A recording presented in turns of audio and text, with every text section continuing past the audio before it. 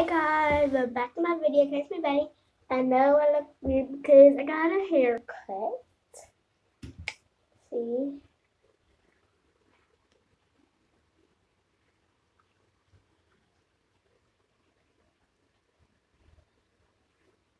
I like the little pointy edges. I got shaved and yeah. So it goes over on this side. I did to go on this side, but